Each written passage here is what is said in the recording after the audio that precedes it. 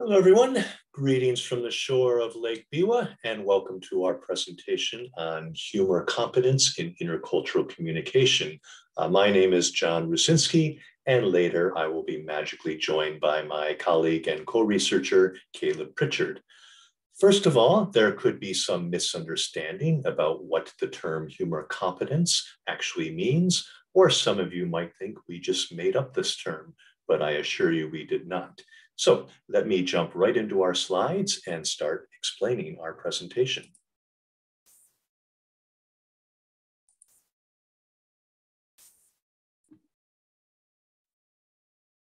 So first of all, about humor competency training, what is it? Why is it important for language teachers and language learners? And how can we implement it into our classes? Uh, we will then summarize two of our studies on two different forms of humor. And finally, I'll give some conclusions about our research studies. And please don't forget, on Saturday, May 15th from 4 p.m., we will have a live Q&A and discussion session uh, on Zoom. So I do hope you can join us to discuss this topic much more deeply. So first of all, what is humor competency training? Well, we do not mean just using humor uh, for something fun in our classes although that does have many benefits as well. What humor competency training means to us is, uh, first of all, helping learners better understand the humor of the target cultures and thus empowering learners to actively engage in L2 humor, as that is no easy task. And finally, to implement research informed humor into our classes.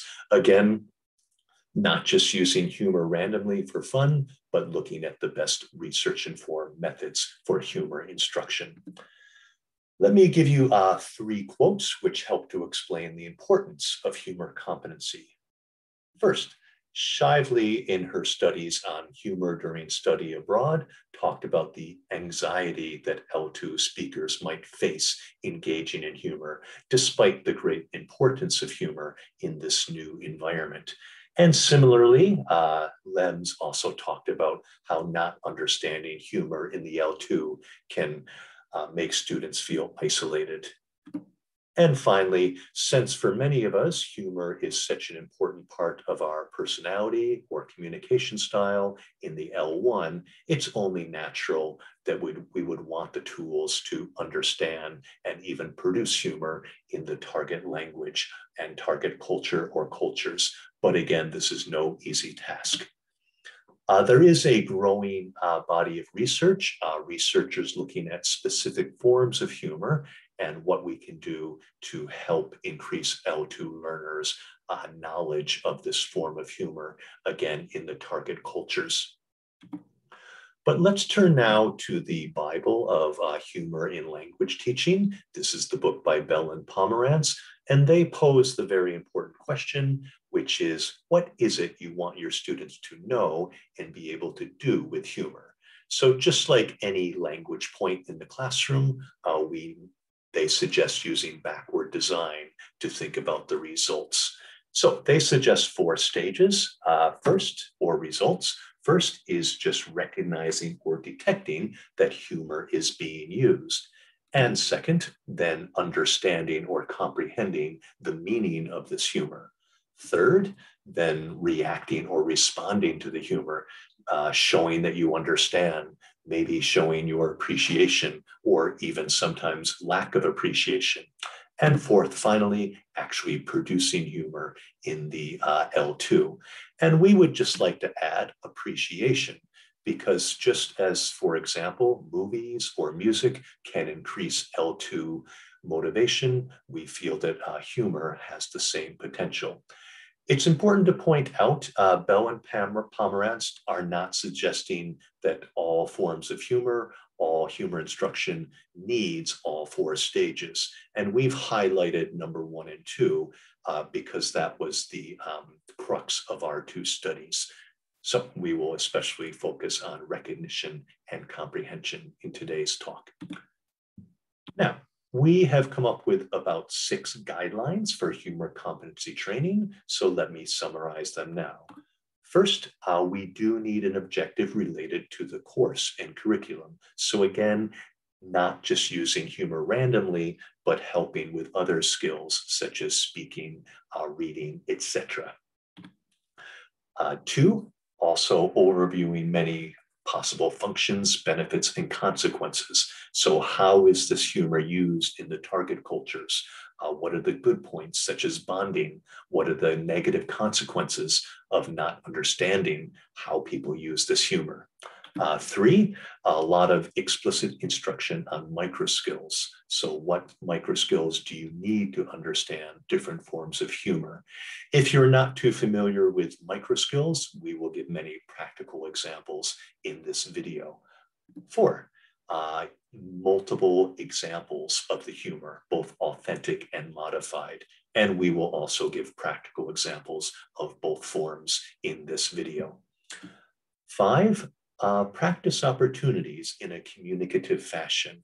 So humor competency training does not involve the teacher just giving dry lectures about humor. So students um, should have the opportunity to collaborate and practice. And six, uh, also including reflection and feedback. So just like any language point, we need to let uh, students know their progress. Do they understand this type of humor more yet? Okay, so those are our six guidelines and we'll repeat these a lot in this video. So now I'd like to turn the um, presentation over to my colleague Caleb Prichard, and he will summarize our first study on sarcasm and verbal irony. So Caleb, please. Thanks, John. John is presenting outside, but unfortunately I'm stuck inside today. Let me share my screen. Uh, as he said, I'm going to talk about our training for detecting sarcasm in conversation.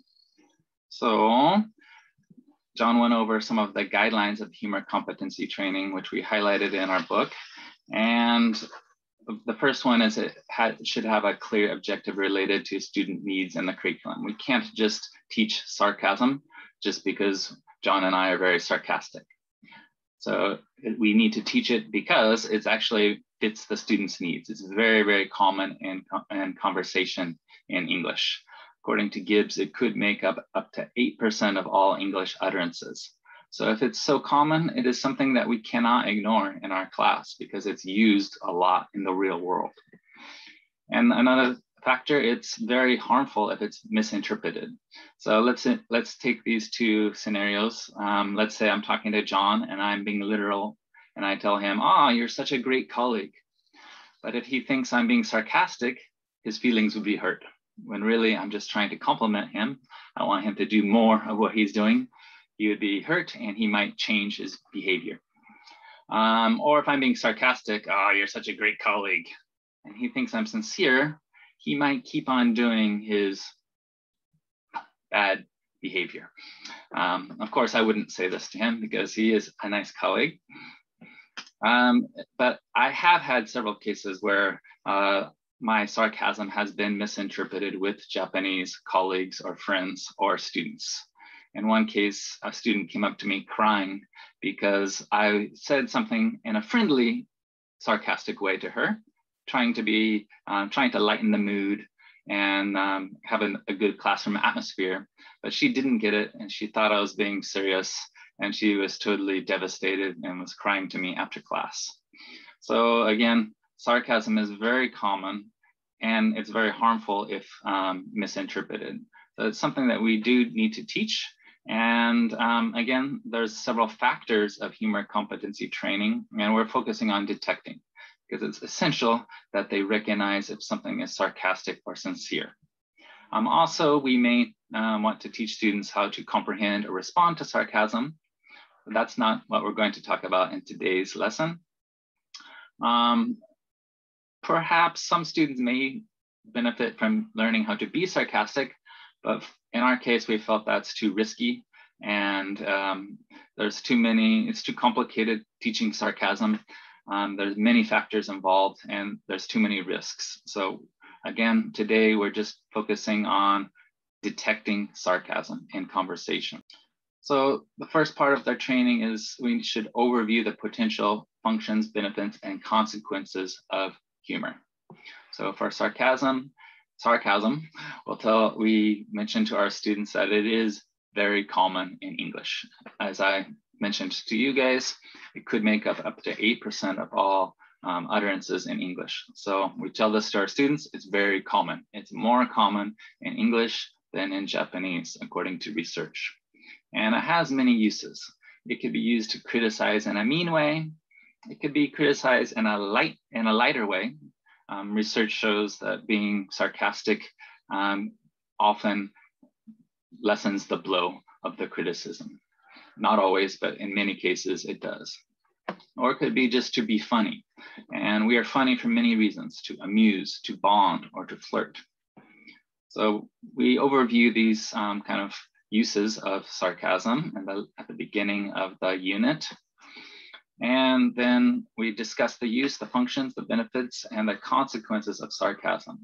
We showed the students many videos and memes, and the students in groups would discuss, is it funny? Um, why would someone use or share this um, sarcasm? And what are the risks of being misinterpreted or being offended? So here's a Willy Wonka meme so we, we showed these kind of memes to our students, and again, they discussed this and the purpose and their reaction to it. Okay, again, then we, we start focusing on the actual detecting sarcasm, and we include explicit instruction on the most relevant micro skills based on research. So the research shows that detecting sarcasm is actually very complicated. There are many factors involved. And the, the speaker usually um, gives markers or cues to show that the utterance is ironic. Okay, not always, but usually they do. Okay, so there are several factors. The first one is verbal context. The listener needs to compare their expectations with what the speaker actually said. It's often the opposite, but it, not always. It could be hyperbole, understatement, or it just could be odd. Okay, so we explain these again to our students, but in much more simple um, vocabulary. This is not a linguistics lesson. So of course we don't say hyperbole.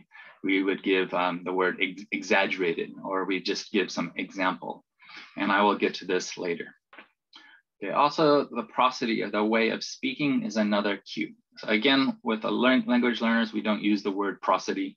We just say how we speak. Okay, so which of these might be sarcastic? Yeah, I totally expect us to win the game. Yeah, I totally expect us to win the game. Yeah, I totally expect us to win the game. okay, so I don't know if I'm a good actor or not, but the first one was intended to be literal. The second and third are very, very different ways of indicating sarcasm. So the way we speak, the prosody, there are several different cues. It's not always the same. So that's why it's a little bit complicated to teach. There could be exaggerated tone, especially for dripping sarcasm. So dripping sarcasm is where we make our sarcasm very, very obvious. And then there could be a flat tone for more dry sarcasm. So um, not having very much intonation and speaking very in a, in a monotone way. Um, also, the prosody could be just different from normal, like bad acting. It, it, sounds different from how the speaker normally sounds. Okay, so again, there's not just one cue, but there's several different cues. Okay, for the facial expression, um, which of these might be sarcastic?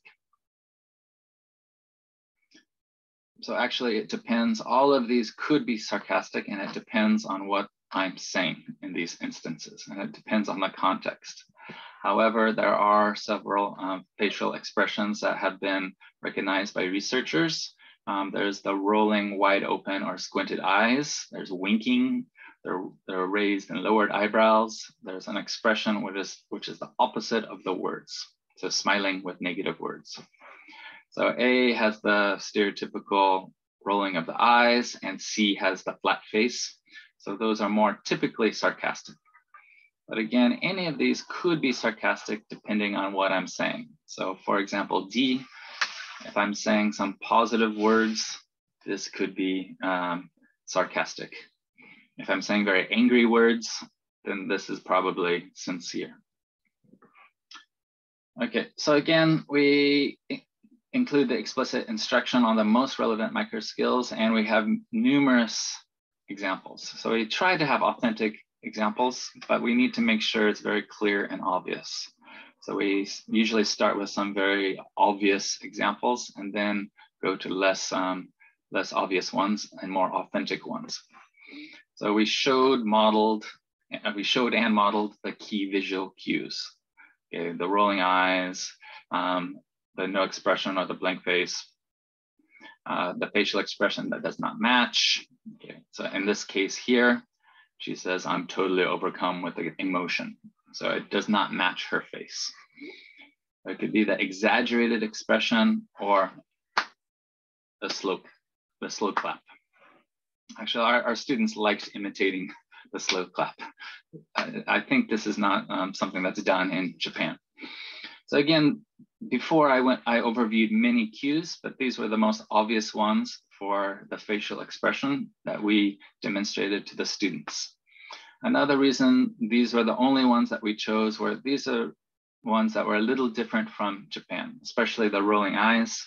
And again, the slow clap is not used so much in Japan. So we practice these more. Okay, so in addition to just showing these, we included extensive practice opportunities, and these were communicative activities done in pairs or groups.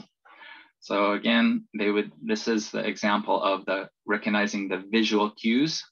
So we showed this on the overhead and in groups, the students needed to um, guess which one is the sarcastic one. So A has the rolling of the eyes. So this is more likely to be sarcastic. B is the answer here. She's um, pretending to be happy, but obviously you can tell she's actually very angry. Okay, here's an example of the, the lesson that we focused on context cues. So we started very simply just looking at the image and with text, and then they compare the context and the words, and they can guess that here it does not match. Therefore, these words are probably sarcastic. Okay, here, he's such an idiot. Here you can guess that maybe the words and the expression matches. So probably they're very upset at one of the players and they're criticizing him. So here, this is an example of sincere uh, words, likely because the context and the words match. So again, we show many, many examples like this and the students discuss if it's sincere or sarcastic. They also had practice detecting sarcasm by listening there's a good resource at this link here. So you could hear people speak and some of them were sincere, some of them were sarcastic. So the person says, yes, I'm super excited right now. Okay, then they just, the students can guess this was sarcastic. Okay, we also had some speaking practice. And again, our goal was not to teach them to be sarcastic, but by teaching them to um, use the sarcasm, it was um, we, we figured that this was a better way of getting them to recognize the cues. If they could demonstrate the cues, then they could recognize the cues. So again, we didn't actually want to teach them to be to use sarcasm, but this was just a way of reinforcing their ability of to detect the sarcasm. So we gave them several sentences like this. These are all um, sentences that people have often have strong views. People either love it or hate it. And first, by them, um, the, the, the student by themselves would look at these and think, okay, what is their true feeling about this? And then for number one, they walked around and if they actually did love hip hop, they would tell their partner, oh, I just love hip hop. If they actually hated hip hop, they would say, ah, I just love hip hop. And they, they went around with the students and they gave their real uh, opinion and they reacted to that. Okay, so was it successful? So we did a research study. Uh, I won't go over the details too much. It's in the chapter in our book, but um, we had a pre and post test. There was a control and experimental group, and we had validated materials based on a resource by Rothermich and Pell. So um, a lot of the cues had clear context. You can read this real quick. So in the blue, Lisa says, I'm looking forward to karaoke. And she's talking on the phone. She hangs up the phone. Another friend walks in and she says, I hate karaoke. So you can guess here that this is not her true feeling because before she told her true feeling on the phone that she um, is looking forward to karaoke. So some of the, this is an example of a sarcastic one. And of course, we also had um, the sincere ones. I'm looking forward to it already. And later she says, you know how much I love karaoke. So there were 50% sincere items. Some of them had no context cues, so it was really hard to guess if they liked, um, if they're being sarcastic or not based on the words alone. So here, based on the words alone, it's, it's you can't, it's impossible to guess if Lisa likes karaoke. Okay, for 40% of them, we had audio visual along with the, the text we showed them. Okay, for 20%, we had audio only, so they could not watch the video. And this was so we can um, we can see if they can hear the sarcasm. So we didn't play video for 20% of the items. For 20% of the items, we had no audio. We just played the video with no audio at all, and they just needed to look and to judge the facial expressions. Okay, so this is the results, the experimental group compared to the control group on all of the, the constructs. So we felt that our present our um, training was effective. However, the results were not um, significant for these for any of the con constructs. However, overall, on the, the overall data, the overall score, the experimental group did significantly improve more than the control group. So we felt that overall, the research was um, successful. Our training was successful. So again, there are many rationale for teaching sarcasm to English language learners. It's very common. It's less common in Japan. Has many positive functions and there are consequences if it's misunderstood. And again, today we're focusing on detecting sarcasm, but you could also focus on comprehending, appreciating, responding to, maybe for some learners, producing sarcasm. Okay, and today we're talking about conversation, but you could also um, research this in text, which is our next focus for our upcoming study. Okay, so John is now going to talk about another form of humor, satire. Thank you very much. Okay, thank you, Caleb, for uh, summarizing our research on sarcasm and verbal irony. And I will now turn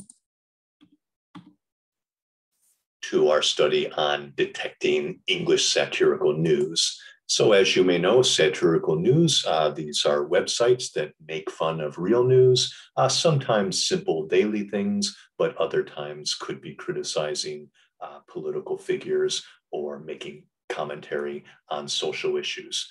Um, most English speaking countries have a popular uh, English satirical news website, such as the Onion, Onion in the United States, uh, as you probably know, we also have uh, on the bottom left the Rising Wasabi, an English satirical news site here in Japan, uh, mostly uh, read by foreign residents of Japan. Uh, this would be one example of um, their work, uh, making fun of the difficulty some of us have faced of navigating huge Shinjuku station in Tokyo. But looking at more of a um, example of social commentary, um, this famous one, breaking news, husband cooks for wife, uh, satirizing gender roles here in Japan. So as you may know, uh, satirical news is often mistaken for real news. This is a recommended article um, by the Washington Post um, about how this has happened um, from country to country.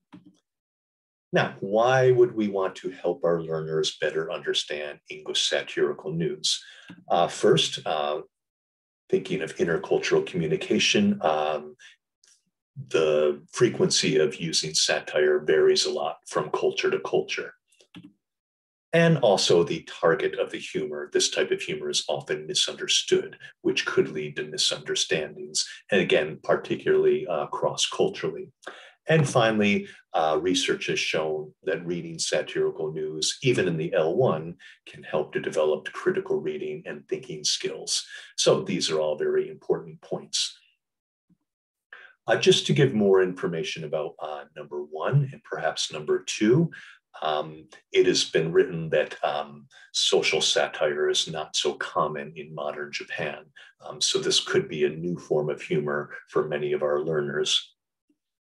And if we just compare this, uh, The Onion, the most famous English satirical news site, over 6 million Facebook likes. Uh, there is a Japanese version of satirical news, the Kyoko Shimbun, but only about 15,000 likes, which is uh, much smaller than the Rising Wasabi with a much smaller target audience. Okay, so we were thinking, how can we help our learners uh, detect satirical, English satirical news? So we thought a good way might be to compare uh, satirical news, again, that's fake news, with what we call offbeat news, which is true news, real stories, um, but about surprising events. So these are kind of similar. So we thought this would be a good exercise just to, as the first step of detecting satirical news. Uh, let me give you one sample idea of this. Uh, let me give you two headlines and try to guess the satirical one. So Japan governors wear pregnancy vests to urge men to help at home. And number two, Osaka launches foreigner only train cars to reduce inconveniences. So uh, some of you might know the satirical one. And here's what it was. This was a Rising Wasabi website. But the important thing to think here is uh, what was the target? And the target of this uh, satirical joke was this uh, 2016, I believe, uh, incident in which a Japanese train conductor apologized in Japanese for having too many foreigners on the train. So the rising wasabi was quick to uh, poke fun at this issue. Um, what was interesting, though, is some of the comments on their website uh, seemed, the readers seemed to not be familiar with this type of humor because they questioned whether it was true. And of course, satirical news is not true, but that's not the point. We know it's not true, or we should know it's not true, but we should also understand the target, uh, why, why they wrote it, what they're making fun of or satirizing. So let us get into our first experiment. Uh, we first wanted, we needed to prove, um, is it true that our Japanese learners uh, would struggle to detect satirical news uh, compared to, for example, uh, L1 speakers? In this case, we used 52 American university students. So we gave them 22 headlines and just the first sentences. Uh, this is because this mimics how we see satirical news often in social media. About half and half US media, but also Japanese English media for both satirical and real news. And they, the Japanese students could use their dictionaries um, as they took this uh, test. Uh, what they did was uh, completed a Likert scale. So one would be absolutely fake news, uh, satirical news, and six would be absolutely offbeat or real news. Just to show you how this would look in a Google form, again, um, they do not have to choose uh, one or six. They can choose anywhere in between. We thought it was important to show um, how confident they were in their answers. And we can uh, share this full sample test with you uh, or survey uh, if you like during the live Q&A. Um, I won't go through all these, but these would just be some examples. Again, some of these, uh, about half of these are fake uh, satirical news and about half or are, um, are offbeat news. Just some examples. Okay, let's look at some of the um, results of the first study. And I think the main chart is on the left here. So uh, on detecting satirical news, a score of one would be perfect. So you can see the American students uh, scored almost a full point higher, even though uh, many of these stories were about Japan and none of these American students uh, had ever been to Japan. So they were perhaps not aware of current events. Um, so that was the main thing there. So we did establish that um, Japanese students did struggle to detect English satirical news, even with the help of a dictionary and even if it was about Japan. Uh, these were a couple that were particularly difficult for our students. So the previous one I showed, breaking news, husband cooks for wife, um, they could not quite get um, maybe the joke here or the type of humor. And another one from the onion, world scientists admit they just don't like mice. Maybe a bit too uh, kind of cruel uh, humor for some of our learners. So again, to summarize uh, study one, um, Japanese did have our Japanese students did have difficulty detecting satire, um, even with the items about Japan, and even using a dictionary, um, and even though we controlled the vocabulary.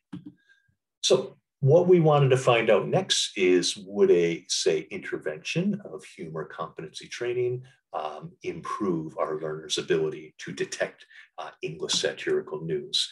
So this time we had only Japanese participants, uh, these were two reading, English reading skills classes, um, about 35 students each, and they were divided into a control and experimental group. So as you can see, it was connected to the, to the course goals. Um, this was reading, and this was a reading skills course. Um, so just to review uh, number three on our guidelines for humor competency training, talked about explicit instruction on micro skills. So let me explain some of the micro skills necessary for under, understanding satirical news. Uh, this is what some of the research uh, has come up with. So there's the rhetorical aspects. So just noticing that something would not be newsworthy, such as husband cooks for wife okay? Or uh, there are also linguistic aspects. Satirical news uh, tends to be more informal, uh, sometimes using uh, profanity, etc., and uses more nouns, might use more capitalization, etc. And then we also wanted to think of the awareness of media and social issues. So having this awareness, of course, will help you recognize the English satirical news. Also, again, number five in our guidelines was extensive practice opportunities. So not just a teacher lecture. So let me just overview um, a quick example of some activities we did in class to uh, help learners interact with satirical news. So here's the steps. Um, we gave them a new survey or test and they did it alone again. But this time, step two, they could collaborate um, to enjoy speaking about the humor and, and thinking about what's true, what's fake. And the teacher could also offer hints, which I'll explain more later. This would be just one example. So this is an article from The Onion, and this is satirical news. So they might do on their own first, just circle, is it true, is it fake? And then also going back to the possible importance of humor appreciation. If it's fake, you know, satirical news is supposed to be funny. So did you find it funny? And more importantly, how you detected it. So what clues did you have um, that it was satirical news, such as being not newsworthy or such as the conversational words. So again, a focus on these micro skills was very important. And this is, uh, you know, quite fun for students to collaborate together. And they could even make a contest out of it with other groups in the class. Okay, and going back to the uh, step three, teacher offer hints. Okay, so um, you could give some cultural or language points to help students um, get an idea if it's true or fake. And you could, again, overview some of these micro skills or features, such as um, satirical news also tends to be vague, talking about a local man rather than just rather than giving the real name. So all kinds of uh, uh, clues or hints that you could um, offer to the students.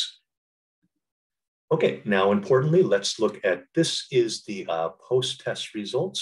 So of the experimental and control group. So, and again, these are only the Japanese learners comparing the experimental and control group.